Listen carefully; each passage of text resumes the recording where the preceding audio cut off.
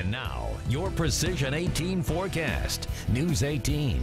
Weather from where you live. Well, we're tracking snow showers on this late March day with temperatures way below normal. You can see the light snow uh, here across Fountain, southwestern Montgomery County. This is all working to the southeast. A little heavier snow shower action right here just south of Delphi. This heavy snow shower is headed for Rossville. And other snow showers in Tippecanoe County, a little heavier up towards Buck Creek. That's working southward towards Edna Mills and Pettit. And other scattered snow showers, Newton, Jasper County, around Monticello. Even a little bit of lake enhancement here north of Rensselaer towards Wheatfield. And other snow showers, Frankfort to Tipton. Now, these will slowly wane with time this evening, and we'll see the skies gradually clear tonight. That's going to set the stage for a near record cold night in the central and southwestern counties but at least a dry, bright, but still pretty chilly Saturday, but we'll have less wind. Warmer Sunday, but windy, and a band of scattered showers will come through before it warms up nicely with some rainfall next week.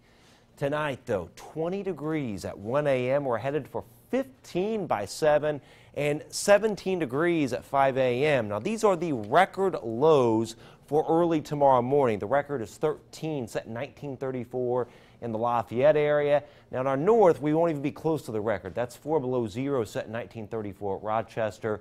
The record is 13 at Petersburg, set in 1934 as well. And these are the forecasted lows, generally right around 15 area wide from 14 Burlington, 16 Kingman, 15 degrees at Otterbein. For Saturday, 35 to near 40 degrees, 41 Crawfordsville, 38 Lafayette, and about 39 at Dayton and Colfax, and a little warmer Sunday.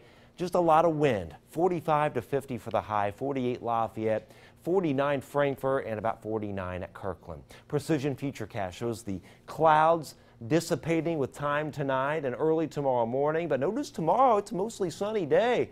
That's 10 o'clock tomorrow night, and really right through tomorrow night, mainly clear skies. And I think late tomorrow night, early Sunday morning, clouds will rapidly increase. We may drop into the 20s, then start to rise.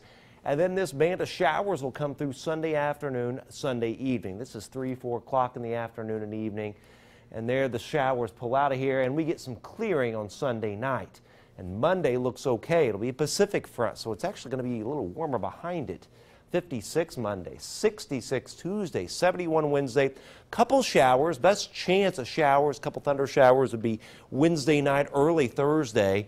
66 Thursday, and we're still in the 60s on Friday. It looks like after next Saturday, it will cool off again to highs in the 40s to right around 50 for a few days with overnights at or below freezing. So it's one of those very slow, cool springs we're getting into, but at least we've got a 71 on there. Yeah, we like that. Okay, thanks. Yes, sure. Well,